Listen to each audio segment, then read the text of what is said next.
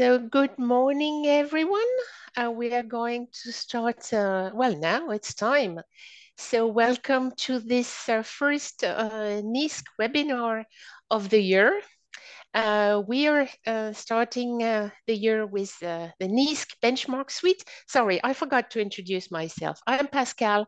I'm the dissemination uh, leader for the NEASQC project, and I'll be your host today. And uh, today I'll have two speakers with me. I will introduce them very shortly.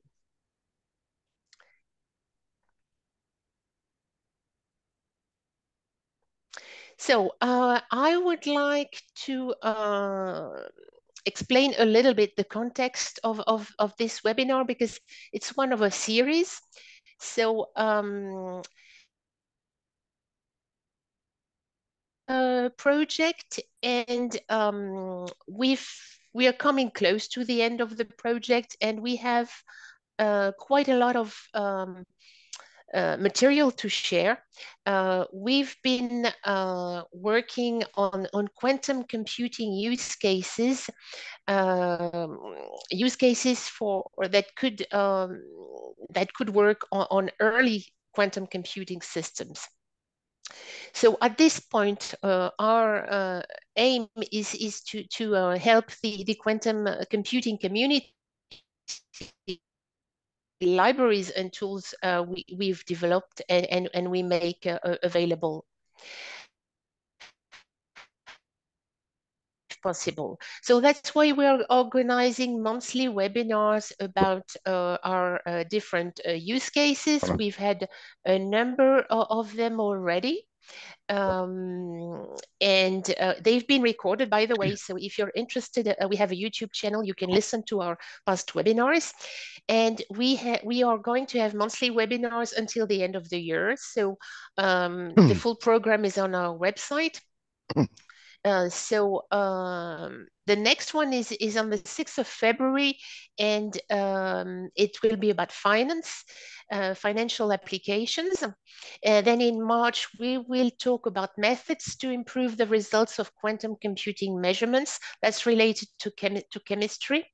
Um, and um, in April, we will talk about uh, uh, quantum and natural language processing, and there is more to come. So uh, really, uh, I, I, encourage you to have a look at our webpage um, to, to know what's coming up. So uh, let's get to today's subject. If I can move to the next slide, yes. Uh, so today's speakers are Dr. Gonzalo Ferro for, from uh, CESGA and Dr. Diego Andrade from uh, the University of A Coruña. And I really thank them for being here today. Um, and uh, I would like to mention the related publications and open source libraries. Um, so we're going to talk about the benchmark suite. It is available, uh, both uh, the, the, the, the, the, reference software itself and an online documentation. So uh, re really uh, feel free to, to visit uh, those, those sites to download the documents and to use our um, libraries and, and, software. So I will hand over to uh, Gonzalo and Diego. I think it's Diego first. Uh, ready to take the floor? yes, yes. Okay. Absolutely. Okay. It's your turn. I will stop sharing.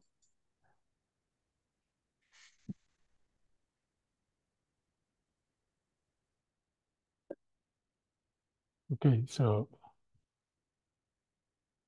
and you see my screen now? Yes, perfectly. Okay. So uh, my name is Diego Andrade. I come from University of A Coruña. Uh, and in this presentation, in this webinar, I'm going to present uh, the benchmark suite for quantum computers that we have created together with CESGA in the context of the NEASQC project. Uh, so the, the first half of the presentation will be done by myself and the second half will be done by Gonzalo uh, uh, Ferro from, from CESGA. So let's start. So let me introduce first our two inst institutions. The CESGA is the Galician Supercomputing uh, Center, is part of the Spanish supercomputing uh, network, and it runs obviously a supercomputer, the uh, Finisterrae 3, but also a quantum computer with 32 uh, qubits. And is also a very active participant in the biggest Spanish effort in quantum computing, which is the project uh, Quantum Spain. My institution is the University of A Coruña. It's a public university which is located in the same geographical uh, region than CESGA in the northwest of Spain. Uh, its academic offer is uh, focused mainly uh, on architecture and engineering, and in any kind of engineering, including civil engineering, industrial engineering, and computer science engineering. The research offer is aligned uh, with the academic offer, and we have several research uh, centers. Uh, one of them, CITIC, that is the one I belong to, is focused on the research on the topics related to computer uh, science. So before uh, I start with the introduction of benchmarking in quantum computing and uh, our benchmarking suite, let me introduce you the general topic of benchmarking. Benchmarking is about testing the capabilities of something in real line. Uh, this can be done uh, in different domains. For instance, we can uh, benchmark a card a, production line in a factory, etc. In computer science, normally benchmarking is related to uh, assessing the capabilities uh, of a classical uh, computer. So in this case, we are going to take into account both the software part and the hardware part. In general, we are going to try to uh, test all the uh, components of the architectural stack. From the beginning, we will consider in the first place the classical processor, the CPU. Uh, maybe we can have an accelerator like a GPU or a FPGA. And then we have the software part of the stack with the compilers, the languages, the algorithms that are used to uh, implement uh, a given routine, and also the specific implementations uh, provided by a programmer or a, good, a group of programmers. Uh, in classical computer science, there are well-established de facto standards for benchmarking classical computers. Uh, at the level of the CPU, we have the SPEC CPU, which is a suite composed of several benchmarks, which are uh, representative of the kind of workloads that you usually uh, want to run in a classical uh, processor. Uh, so here we are going to find compilers, physical simulations, applications related to artificial intelligence, etc. At the, at the supercomputer le super supercomputing level, uh, we have the top 500 list that lists the top 500 supercomputers in the world. And the list is elaborated according the, to the performance of the supercomputers running a single benchmark, which is the LINPACK benchmark. We have other alternatives like the NAS parallel benchmarks and many more that I'm not going to mention here. Recently, uh, the performance, sorry, the power efficiency of the computers has become uh, a topic of interest. So uh, because of this, we have the green counterpart of the top 500 list that lists the top 500 supercomputers in the world, but ordered according to its power efficiency. This means not gigaflops, but gigaflops per watt uh, consumed. And also the SPEC CPU has a green counterpart, which will be the SPEC uh, power uh, suite. Uh, I would like to finish this part of the presentation outlining the common characteristics to all uh, this benchmarking uh, methodology. I do that because I believe that we have tried to inherit all these characteristics in our own approach. The first characteristic is that normally the application that, that compose a suite are uh, uh, considered because they are representative of the kind of workloads that you want to run in a classical computer. Sometimes they operate at the kernel level. So here we have uh, operations mostly from linear algebra, like matrix multiplications or convolutions.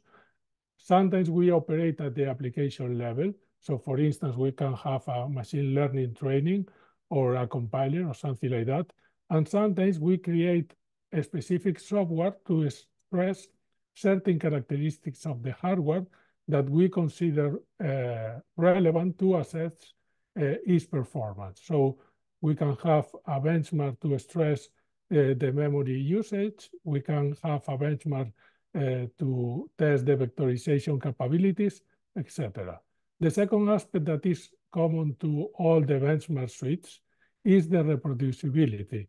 If we want to uh, be able to compare uh, two platforms, for instance, we have to be able to replicate all the components of the stack, or at least uh, the relevant ones. So this means that we have to include, as a result of the execution of a benchmark, a very complete documentation about all the configurations that are relevant for the performance of the execution. Finally, the last aspect that is common and that I would like to highlight, highlight are the metrics that are used to uh, measure the performance. In classical computer science, it's common to use productivity uh, metrics like uh, MIPS, millions of instructions per second, gigaflops, billions of instructions of floating point operations per second, and the power efficiency one will be uh, gigaflops per watt. Sometimes we use only the raw, the raw time spent from the beginning to the end of the execution of the, of the task, and that will be the wall time. And sometimes we use and speed up with respect to a very slow reference machine. Uh, in classical computer science, normally we include at the end a validation that the result uh, generated by the classical computer is correct. Uh, although in classical scientific applications, normally uh, the computations are mostly accurate. However, in fields like machine learning, it's becoming very common that accuracy is playing an increasing important, uh, increasingly important uh, role. So let's move now to the part of quantum computing. First of all, I would like to compare the stack of execution that we mentioned before for classical computers uh, with the corresponding one for quantum computers. At the topmost level uh, of the stack, we have uh, the applications and the algorithms as it happened in the classical uh, version, but in this case, the kind of uh, applications and algorithms that we have are different. We are going to find quantum phase estimation, for instance, quantum Fourier transform, applications of quantum optimization, quantum simulation, etc. In a lower level, we are going to find uh, languages and compilers. For instance, in the software development kits, we have several alternatives like MyQLM, PennyLane, or Qiskit. Or we can use a quantum programming language like QCL, QSharp, or QEN ASM. Uh, and at a lower level, and as it happens also in classical computer, these high-level languages are translated into an assembly language. Although here we have an additional actor, which will be the transpiler. So the assembly languages that we have available, or examples of this, are QA, QASM, OpenQASM, Quil, etc. In the physical level, in quantum computing, uh, we have a high variability. Uh, for instance, we can use different technologies to implement the qubits. Uh, we can have available different kinds of quantum gates, and we can use different types of fault tolerance techniques. And maybe at the lowest level of the stack, we can have, instead of real hardware, a quantum uh, simulator. So before we talk about our own approach, I would like to outline the main approaches that we have uh, in benchmarking in quantum computing. For doing so, uh, I would like to establish this classification. Some of the existing approaches for benchmarking a quantum computing, computer are focused on the hardware level. Examples of these will be the cycle benchmarking that tries to estimate the state preparation and measurement errors, or the randomized circuits, which are based on the IBM volume, uh, volumetric uh, volumes uh, concept. Some approaches try to uh, compare different compilers or the effect on performance of different compilers. And an example of this will be the Arline quantum suite. Uh, other approaches are uh, more ambitious and try to eva evaluate the performance of the whole st stack of execution. And the most remarkable example of this will be the Munich Quantum Toolkit, also known as MQT.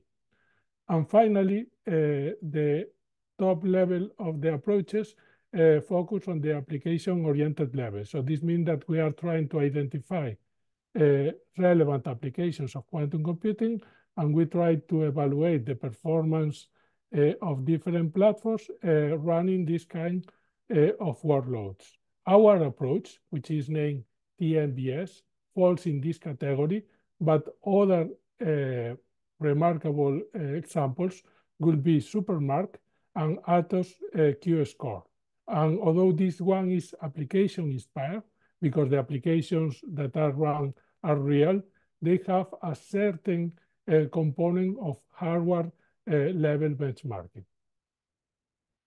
So let's focus now and in the following uh, in the DNIS uh, benchmark suite. That is the suite that we have created in the context of the NEASQC project. This has been developed by CESGA, UDC, as part of, mainly by CESGA and UDC as part of the NEASQC project, but we have counted with very relevant and important contributions from other partners of the project. They help us to identify kernels that are common to one of several fields of applications of quantum computing.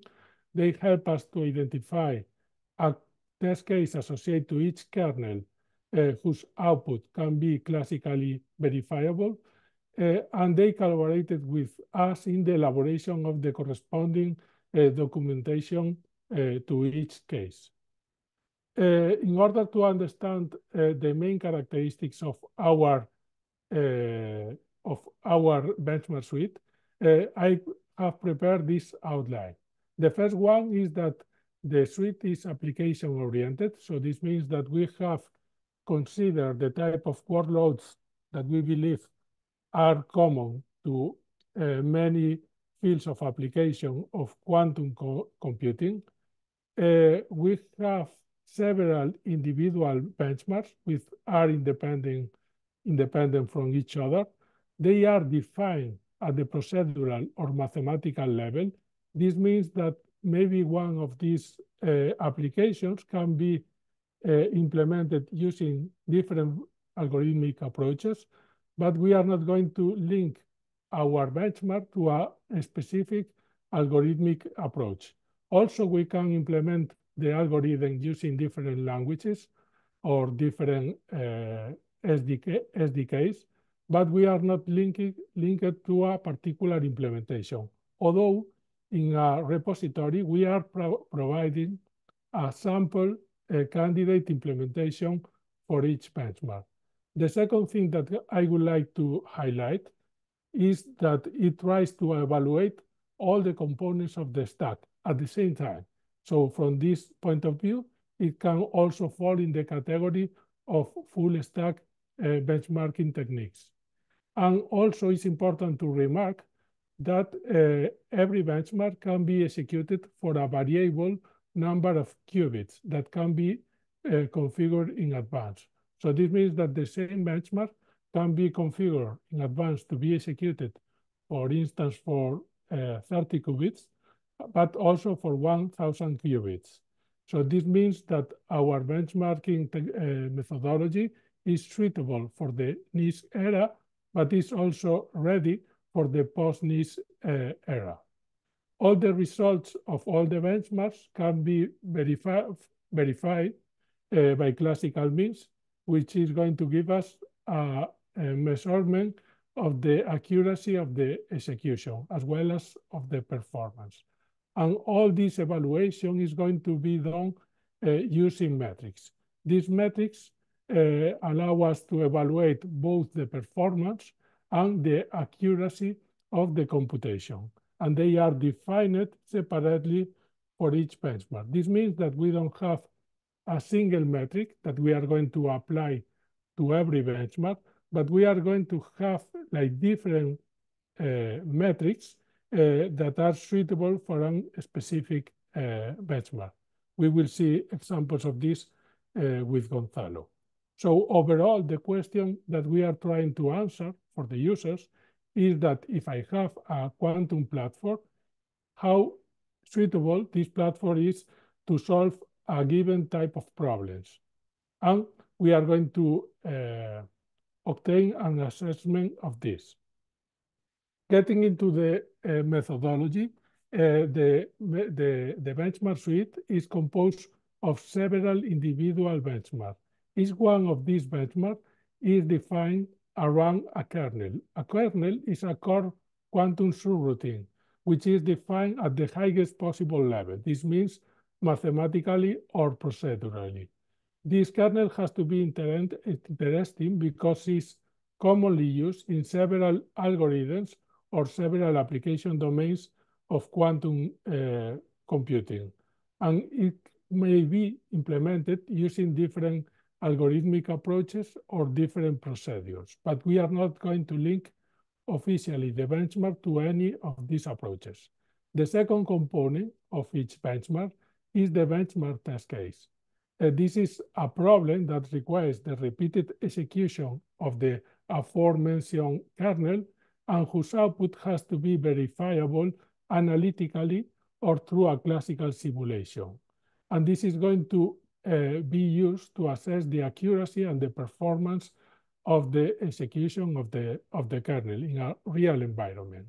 Uh, this benchmark test case is going to include also a very precise and very detailed standardized procedure of execution that has to be respected by any implementation of the benchmark. We are providing templates uh, in software for this. Uh, and finally, for every benchmark, we are going to have several metrics. Some of them are going to try to verify uh, to which extent the result is correct, and some of them are going to verify how long it takes the execution uh, of the benchmark test case. So regarding the output generated by the suite, uh, the output is going to be summarized uh, per benchmark in a single JSON file, which is a test structure uh, format, and is going to contain all the information that is relevant to make the experiment reproducible. So this means that we are going to keep record of information about, for instance, the quantum platform, the execution stack, all the relevant uh, components of the execution stack, the results obtained for the verification and the performance uh, metric, and the file that is generated this way can be uh, uh, uploaded to the TNBS centralized repository uh, of results that will be available soon. Regarding the methodology that we have deployed for the benchmark suite, the first one is that the definition of all the benchmark case has been done following a template that is published uh, in the uh, NEASQC project uh, website. This definition has to be done at the procedural or the mathematical level. So I remark again, not link it, not link it to a given algorithmic approach or to a given implementation, although we have a repository with sample candidate uh, implementations using the Eviden MyQLM uh, framework uh, uh, for the for the uh, implementation. All the current benchmarks, all the current available benchmarks have been extracted from use cases of the NEASQC project, although we are planning to include new cases from other fields uh, in the near future. And in the future, in the near future, we are going to make public the repository website that contains both information about the suite, but will also serve as a reporting and result comparison uh, repository. This means that anybody can upload their own executions in the repository to be compared with the community ones. So this will be an, uh, the screenshot of the part of the website of the NEASQC project where you can find uh, all the information about the suite. This is uh, one README of the repository with the some example uh, implementations of every benchmark. And these are screenshots of the website uh, with the repository uh, of results.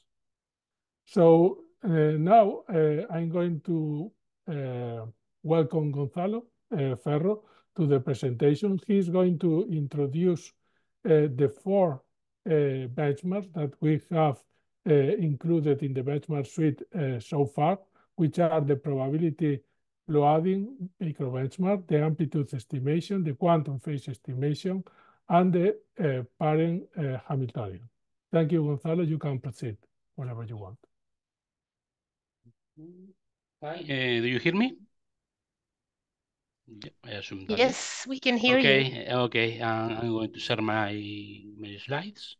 Uh, okay. Boom, boom, boom, boom. Mm, We can see your slide, but it, it's not in yeah, the, yeah, slideshow yeah, mode. And ah, okay, here, and I am not able to. Ah, no me deja poner. ah, sorry. That's and, the demo uh, effect, have, you know. yes.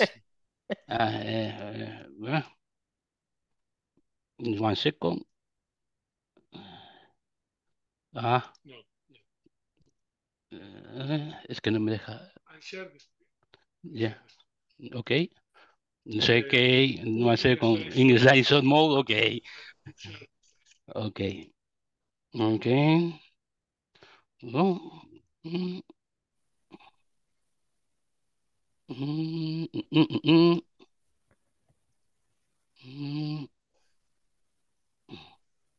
Okay. Now you can say this. The you can see the screen. Okay. Yeah, yeah. that's much better. okay. Thank sorry. you, Gonzalo. Okay. Okay. Uh, so, um, well, as Diego as Diego said, uh, um, I'm going to describe the different micro benchmarks that we have implemented under the NEASQC benchmark suite. Uh, all these benchmarks, as Diego said, were extracted from the use case of the um, of the different use case of the NEASQC project and are the probability loading, the amplitude estimation, the quantum phase estimation, and the parent Hamiltonian. So, uh, first of all, uh, in order to describe the, the benchmark, the micro benchmarks, we need to use the terminology that Diego presented before. We need to explain what is a kernel, what is the benchmark state, and what are the different metrics that we are going to use for the micro benchmark. So, uh, the third micro benchmark is the probability uh, loading algorithm, and in this case, um, um, we are going to provide the kernel description that, as Diego said, it should be defined in a very high level. In this case, we are going to provide a mathematical definition. And in the case of the probability loading kernel, we want to build a unitary operator U that loads a discrete probability distribution into the amplitude of a quantum state. As I said, I only provide the mathematical definition. but we don't fix uh, or link uh, to any uh, probability loading algorithm for building this unitary operator. In fact, if you know about more about the well, the different probability loading algorithms that you can use for building this operator, we can recommend the reading of the two deliverables that were developed uh, under the framework of the work package 5 of the project that do a review of the state of the art for price computing of VaR, because uh, in this there have some sections that are devoted to review the different probability loading uh, algorithms during the last years. So, of course, we, have the kernel, and what is the benchmark case? Of course, as Diego said, uh, we are going to use a particular problem that we want to solve. In this case, we are going to load a new Gaussian probability discrete distribution. So here is the complete procedure. In the in the first part, in the left part, we explicitly say step by step the mm, the things that you have to do in order to create the, this um, probability discrete distribution. And once you have this probability discrete distribution, you have to choose some probability loading algorithm that allows you to create the U operator that loads this array into the quantum state. When you have that, you are going to execute the quantum program and you are going to measure all the qubits a number, a defined number of times that is given by this equation from here. So um, the idea is that you are going to measure all the possible states and you are going to compute the probability of obtaining a final state when you execute this circuit. This is the um, quantum measurement probability density of the operator. So uh, in order to implement this code into the GitHub, we have selected the original uh, probability loading algorithm from Brassard et al. and the, uh, developed in 2002. And this kind of algorithm needs uh, the implementation of some operation that is called rotation controlled by state. And in fact, in our library, you can choose two different implementation of these rotations. You can use a brute force direct method that is a direct implementation of the Brassard paper, and you can use the quantum multiplexer that is the implementation provided by Shende uh, in a 2006 paper. Here we can uh, show how uh, how unitary, unitary operator uh, shows as a circuit uh, when you use the brute force method or, you, or when you use the quantum multiplexer. As you say, when you use quantum multiplexer, circuits tend to be uh, lower, with lower depths. So what are the metrics that we are going to do? Remember, as Diego said, each microbenchmark has uh, their own metrics. So in this case, the metrics that we are going to use are metrics that allow us to compare the probability density measured from the quantum device and the theoretical distribution that, remember, is a Gaussian one. So we fix it. Uh, these metrics are the Kolmogorov-Smirnov and the Kullback-Leibler divergency that are uh, two very well-known metrics that are used a lot in classical statistics for comparing um, probability distributions. Um, what are the applications? Uh, there are a lot of applications that use this probability loading kernel as a quantum case routine, like in quantum PCR, the HHL algorithm, and even quantum amplitude estimation. Um, the second micro benchmark is the amplitude estimation one. Again, we are going to provide the kernel definition. In this case, uh, we have a unitary operator A, and the amplitude estimation kernel aims to find the amplitude of a fixed state P0 or the final state. So when we apply this unitary operator, we can split the final state into good states. This is the phi0 state, bad state, the phi1 states. And the thing, what we want to estimate is the probability of getting a good state. So at the end of the day, we want to estimate this lowercase a. So how in a quantum device can estimate this lowercase a? Uh, there are a lot of algorithms. In, in fact, this uh, amplitude estimation kernel is very paradigmatic of that.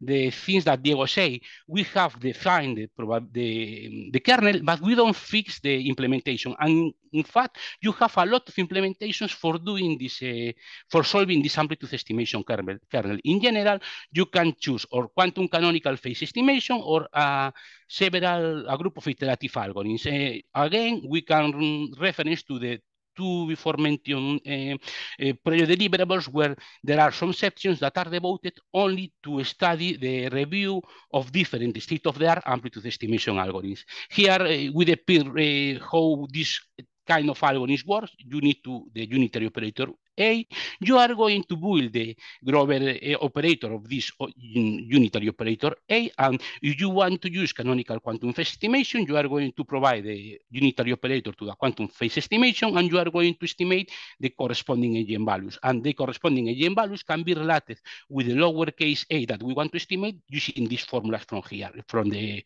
from the bottom. In the iterative algorithms, you are going to apply this Grover operator again, and you are going to apply the Grover operator several times, you are going to do several measurements, and you are going to classical post-processing the, the, these measurements.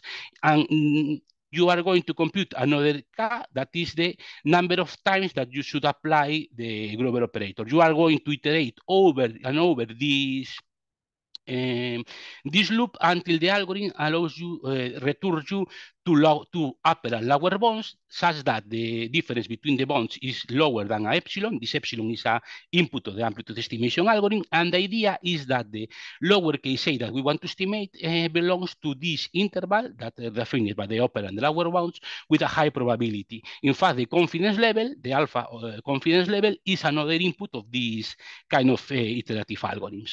Well, what is the benchmark scale that we are going to use? Of course, we are going to build a unitary operator that encodes in their lowercase a the integral of a sine function in two very well uh, defined intervals. In the first interval, the integral it will be positive, and in the second one, the integral will be negative. So, what is the procedure? Okay, this is the complete procedure. The idea is, of course, we are going to fix the number of qubits. We are going to discretize the domain of the integral, and we are going to compute for each value of the interval uh, the sign, the corresponding sign value. The idea is normalize this array, this array of sign, and with this normalized array, we can compute the integral uh, as a Riemann sum. In fact, we are going to use the Riemann sum as the target metric that we have to, to obtain. When you have this normalized discrete sign array, you are going to create a unitary operator that lowers these uh, values into a quantum state using this operator USUF. This operator USUF is the controlled stable rotation that I mentioned in the probability loading kernel. Okay. Once you have this created, when you have created this USUF operator, you are going to sandwich them between eh, Hadamard gates. And be aware, if you are using n qubits for discretize the domain, you are going to need one qubit extra for creating the operator. Well, it can be so that this operator works in this way, in this, uh, as show this equation from here. Here, um, the amplitude of the zero zero state, the final amplitude of the zero zero state when you apply this a operator is equal to this uh, quantity from here. That is the sum of the different values of the discretized normalizing sine function. So if we can have an algorithm, an amplitude estimation algorithm that you can you are going to provide the operator A, the amplitude estimation algorithm uh, returns you this lowercase a that can be equated to this to this to this quantity. So you, when you have this lowercase a, you can plug into the this definition and you can have an estimation what is the integral that you want to compute. So we are going to compute or we are going to measure the value of the of this integral. So what are the different amplitude estimation? A priori, you can use any amplitude estimation that you want, but in the GitHub, we have uh, implemented uh, five kind of uh, amplitude estimation. The classical quantum phase estimation from Brassard, the maximum likelihood amplitude estimation from Suzuki, the iterative quantum amplitude estimation from Dmitry Grinko, and a real quantum amplitude estimation that was developed by our colleagues Alberto Manzano and Daniel Musso that were developed under the Work Package 5 um, framework. the first three algorithms only can estimate lowercase a when they are positive, and the for one can uh, estimate lowercase that can be positive or negative. So the three first algorithm will properly work in the first interval but fail in the second one, and the real quantum amplitude estimation work properly in the two intervals that are defined for the micro benchmark. So, as I mentioned before, the metric that we are going to use is the absolute error between the Riemann sum and the computed uh, and the measurement integral of the quantum estimation. Um, there are a lot of applications that have this uh, amplitude estimation kernel of a core twin, like finance, Latin finance, chemistry, numeric integration, and in fact, in most of the algorithms, the amplitude estimation usually is the last step of the of the algorithm. And the third case is the quantum phase estimation, and the kernel can be very definitely defined in a very easy way. You have a unitary operator U. We want to estimate all the all the eigen values. We are going to use the quantum phase estimation procedure for estimating these eigen values. And the idea is that we are going to use as a benchmark test case, we are going to estimate the eigen values of a Kronecker product of RZ gates. As you can see here, this is the RZ gate. We, this is the uh, Kronecker product of RZ gates. We have fixed the different parameters of the RZ gate. And this uh, operator have a um, advantage uh, behavior because we can compute in a very easy way and very efficiently um, the different eigen values that uh, conform this, this the, its spectrum. So Of course, what is the procedure for the benchmark test case? We are going to select the number of qubits. We are going to fix a number of auxiliary qubits. This is the, the quantum phase estimation have two kind of register, the auxiliary qubits one and the n qubits where the uh, operator will be applied. And you are going to build the, this RZ operator, and for fixing the angles, you can select two kind of methods. A random method, where all the angles will be selected randomly, or a SAT method, which you fix the angles following this formula that depends on the number of auxiliary qubits. In the first case, in the random case, the quantum phase estimation will provide an approximation to the eigenvalue that you want to measurement. And in the exact case, the quantum phase estimation should give the exact value of the eigenvalues of the RZ uh, operator. When you have built this RZ operator, you are going to build the quantum phase estimation circuit. Uh, in this case, we are aware that you are need to uh, initialize the first n registers to a equal superposition of states, and you are going to complete the measure the complete circuit this number of shots. Uh, and with the result, you are going to build the measurement histogram and the theoretical histogram. The theoretical histogram can be computed because you know how to compute the eigenvalues of the operator, and you are going to use a range 0 to 1 for making the histogram, and you are going to use the 2 to the m number of bins for doing the, the two histograms. Then you are going to compare the two histograms um, by using the following methods. For the random case, you are going to use the color Kolmogorov-Smirnov, that uh, was the same method that you use in the probability loading case, and you can use, use for the SAT case the fidelity that is defined in, as can be shown here. There are a, a lot of applications that use this, uh, this kernel, like the SOLVE algorithm, quantum linear equation, etc., etc. And finally, we have presented the parent Hamiltonian, and again, we can provide the the kernel, in this case, if we have an ansatz with an state phi de theta, the, the parent Hamiltonian kernels aims to find the Hamiltonian such that this phi state is its ground state. And in fact, the ground state energy, it should be equal to zero. So this is the mathematical definition. And what is the benchmark case? We are going to use ansatzes that are moving from this particular uh, kind of layers. Uh, here is the layer that we are going to use for building the ansatz.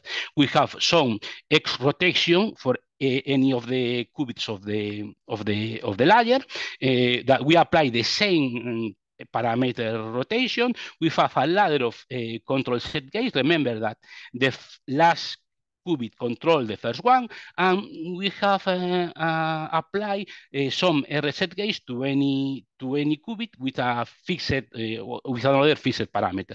The parameters can be fixed using these equations, and in fact, it depends on the number of layers that you are going to, to apply.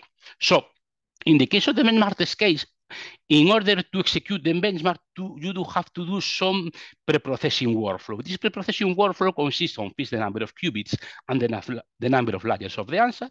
You are going to set the angles of the ansatz, and you need to compute, this is very important, the uh, complete state using state simulator of the ansatz, because for computing the corresponding parent Hamiltonian, you need this state. Uh, the computation of the parent Hamiltonian is out of the scope of the of the speech, but uh, you can see all the details in the benchmark test case documentation or even in the GitHub uh, notebooks of the case.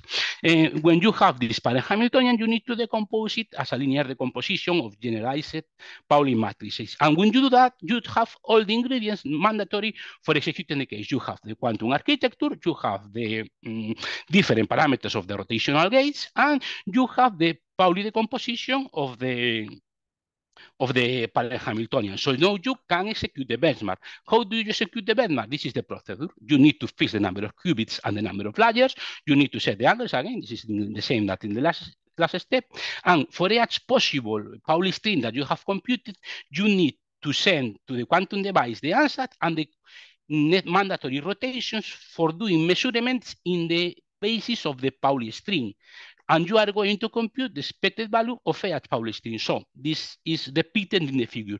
You are going to build the ansatz and you are going to do the rotations to the P0 string and you are going to measure the computed expected value. Then again, you have to build the ansatz. You are going to do the rotations for the uh, second Pauli string and you are going to compute the expected value and so on, so on, so on. And you are going, going to gather all the expected values and you are computing the the ground state energy as shown in this formula. This HUE, these are the coefficients that you have computed in the previous step in the workflow. So what is the verification method that we are going to use? We are going to use a verification method, the computed ground state energy, ground state energy, sorry, because uh, we are dealing with parent Hamiltonians and the ground state energy of the parent Hamiltonian, it should be zero. Uh, about the GitHub code, we have, we have to say that you don't have to uh, compute the complete Pauli decomposition because we have computed uh, this Pauli decomposition for ansatzes from 3 to 30 qubits and from 1 to 4 layers. Additionally, in the code, in the parent Hamiltonian code, we have uh, developed some code that allows you to compute the parent Hamiltonian and the Pauli decomposition for any ansatz that you want, but of course, you should use the MyQLM library. And finally, if you need uh, ansatzes higher with uh, higher, higher than 30 qubits, you can use a, a package that we have implemented that use this com that compute the parent Hamiltonian using matrix product state techniques. In this case, these techniques are uh, lower resources consumption than state simulator. Um, so I finished the description of the, all the cases, and I want to say some words about the GitHub. Uh, in the, this is the web page of the of the GitHub, or where you can find and download the complete repository. Uh, there are two files that allow you to install all the mandatory uh, Python libraries needed to run the to, to, run the the repository. You can find an environment YAML or a requirement TXT, depending of you use Conda or pip. And there is the code. This is the page with the code documentation and for me, the most important thing is that you can testing the library you use in Binder. In Binder, uh, this is a web page that you can deploy your GitHub code in an automatical way. The, the Binder uh, builds the complete environment and you can test the whole library without download to your computer and without installing the complete Python libraries. Finally, I want to say some about the folder structure of the of the of the repository. Here uh, we have the the TNBS folder where there are the four subfolders where contain EH microbenchmark, uh, and the structure of EH folder folder is the same. You will have an inner um, folder where all the implementation of the benchmark test case was, was done, and you have in the root of the benchmark test case folder um, some scripts that are uh, general purpose scripts for executing the, the run case and for uh, scripts for gathering all the information from our run execution and generate the JSON file in the mandatory format of the NEASQC. Additionally, for example, in the benchmark test case for the parent Hamiltonian, you can find this uh, configuration file folder where all the um, Pauli decompositions that we mentioned before are stored as a CSV file, uh, files. So finally, as conclusions, uh, we have developed a, a, benchmark suite for assessing quantum devices based on use cases of the NEASQC project. The TMB should help to improve the complete stuff of a quantum hardware device. Microbenchmarks will be composed of a kernel, a benchmark test case, and a sample code implementation. Remember, the kernel should be defined in a high-level way, a mathematical or a procedural.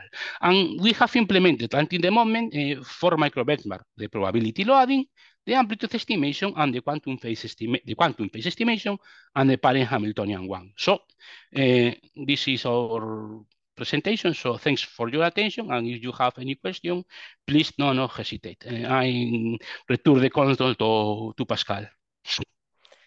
Thank you. Thank you, Gonzalo. Thank you, Diego, for these presentations. So as you say, it's now question time. I will try to share my slide. Sorry. We have a problem. So we already have. Okay. Yeah, so for questions, you can ask your question in the chat or you can raise your hand. It's, it's up to you, whichever way is more comfortable for you. So let me find the chat because now I'm sharing. I can't see the chat, of course. uh, dear. Okay, so uh, we have a first question from Antonio Marquez Romero. Is the parent Hamiltonian unique given the ground state?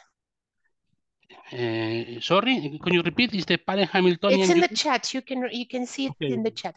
Okay, is the parent Hamiltonian unique given the ground state?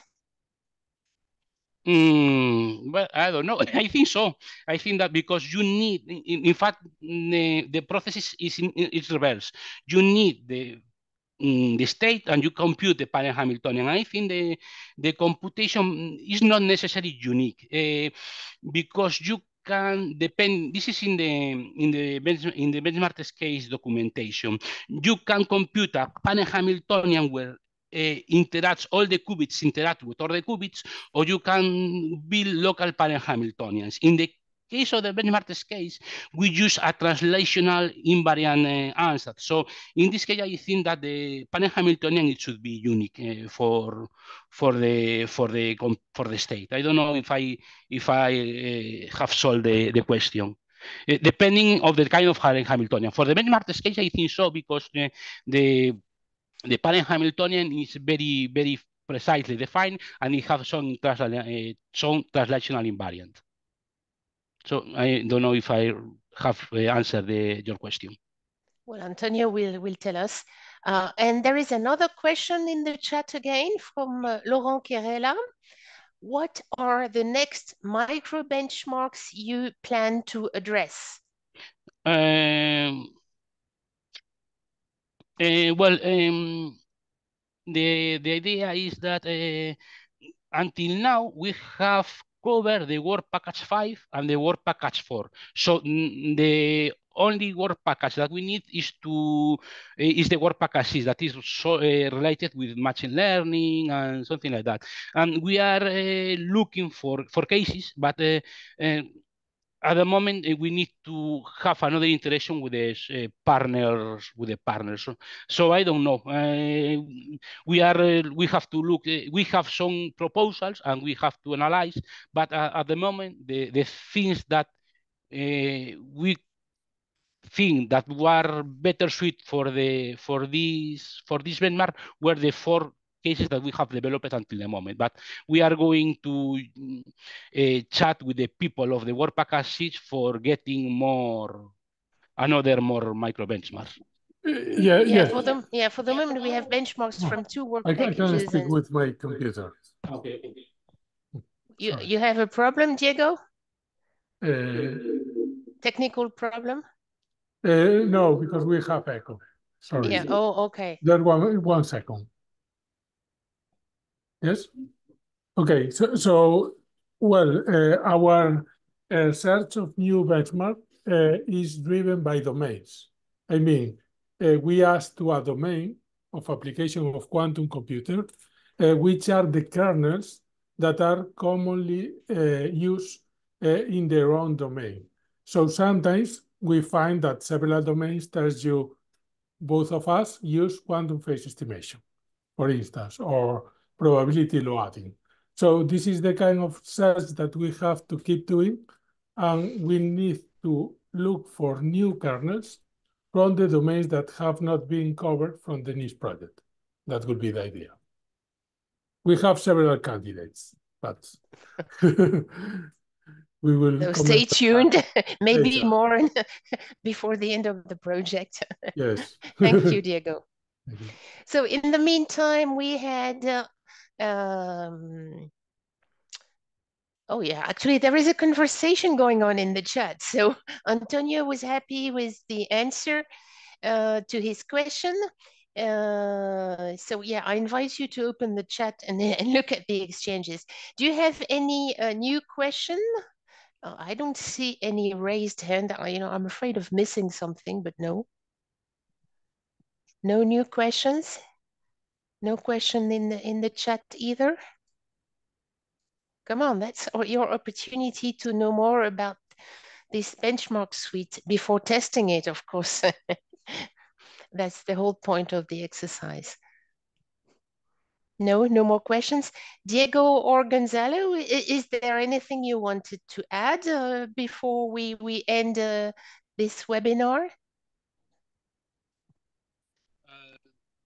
Sorry, well, yeah, yes. Uh, uh, well, I, I, would like to encourage uh, all the uh, attendants uh, to visit uh, the website of the project and also the repository with the code. And it's extremely important for us to get feedback uh, from other people about the suite, uh, because that will be an important contribution and feedback that we could use uh, to improve the code base and also the corresponding documents. And thank you for your attention, obviously. Additionally, I want to say that uh, remember that you don't have to, to download the complete code. You can use the Binder execution for doing the testing if you want to, to test the, the, the repository. So thank you for your attention. And we are ready to receive mm, even question by mail. I think that uh, we have posted the mail into the into the presentation. I don't know. Pascal, can you ask? I don't know, but in any case, I mean, if you have a, a, a question, uh, there is a contact form on the NEASQC website, and it comes straight to my uh, mailbox. So uh, uh I don't hesitate to to ask your questions or or answer the. Uh, you will receive an email after the webinar with the um, the presentation and also the links to um, additional material. Uh, you can answer that. It will not fall into a, a, void. It will come to my mailbox. So uh, if you if you want to know more, really don't don't hesitate to get in touch with us. Uh, so no more questions, no raised hand, no message. Okay, then I think we will close for today. I would like to thank our two speakers. Uh, thank you, Gonzalo. Thank you, Diego. It was very interesting. Uh, I would like to thank our audience too. Uh, it was nice to, to have you, uh, have you again, because I see we have a few regular attendees. That's really nice. So I hope to see you again on the 6th of February. We'll have another webinar, this time dedicated to finance applications, a very interesting area. Uh, and uh, also, I mean, if you have an interest in other use cases, don't hesitate to have a look at our website. I posted in, in the chat the link to uh, the, the, the webinar webpage because there you can find the list of webinars, past and, and future, uh, the links to the information about the webinars. Uh, so really a lot of material is available. Don't hesitate to go to the website. Also lots of publications. Um, we have uh, uh, uh we've ha published a, a, lot about the different use cases. So if you have an interest, I'm sure you'll find something that will help you. So thank you everyone and hope to talk to you again on the 6th of February. So I think we will close for today. Any last minute question? Usually we have a last minute question. No, not mm -hmm. today. Okay, mm -hmm. thank you and bye-bye. Bye. Bye. Bye. Okay.